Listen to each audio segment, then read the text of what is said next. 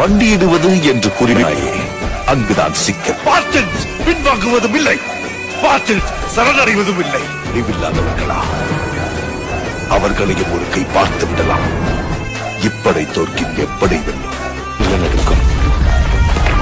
எல்லை தளபதியாரே எதிரிகளின் படைப்பலம் ஏனென்றால் உனது படைகளை துவம்சம் செய்து செய்து எனது தசைகளுக்கு பிடிப்பு ஏற்படும்.